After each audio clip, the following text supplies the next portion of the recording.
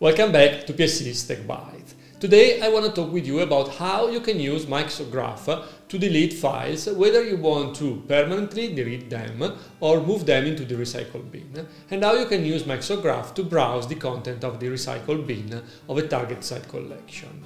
With Microsoft Graph, nowadays, it is only possible to restore a file that was deleted from the personal OneDrive uh, storage. So, in case you want to restore a file that you deleted with Microsoft Graph, you will need to rely on the SharePoint REST APIs or the SharePoint CSOM APIs or eventually on the PnP Core SDK library, which internally relies on SharePoint REST APIs as well. So let me move to the new environment and let me show you how you can manage deleted files with Microsoft Graph. So let's make the assumption that we have uh, a bunch of files stored in a document library in SharePoint Online or stored in a folder in OneDrive for Business. And we want to get those files, delete eventually permanently those files, and if we don't delete them permanently, we want to see them in the recycle bin. So let's start with SharePoint Online and let's play with the Graph Explorer. First of all, we need to get a reference to the target site collection that we want to use. So the one that I'm uh, storing the files in, this one. So I can get the ID of this site collection and through the site endpoint, I can get the drive root to get the root folder, so the shared documents of that site collection. In there, I can play with the children that I have in this folder. So let me query children and here I can get all of the items. So for example, this one will be the sample file 01 or the other one will be the sample file 02 with this specific ID.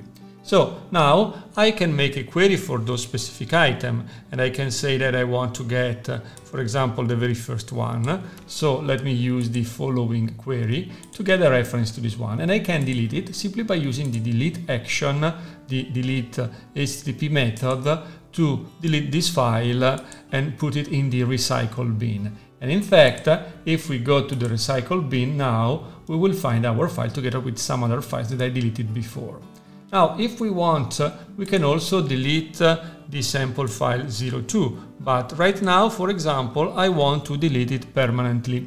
So I can get a reference to the file by making a get request, and here it is. And I can make a post request uh, invoking the permanent delete uh, functionality or endpoint. So permanent delete is the endpoint to invoke now I have permanently deleted the file. And in fact, if I go to the recycle bin, I don't see the file. But if I go to documents, I don't see the file either because it got deleted.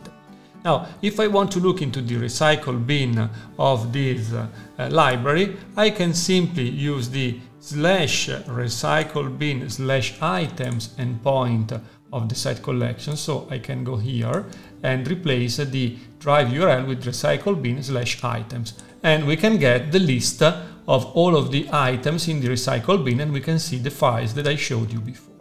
Now we can do the same with the OneDrive uh, for business so storage. So I can make a get first of all for the children item of my OneDrive. In there I will be able to find the folder where I am, which is the demo files folder. So let me search for it.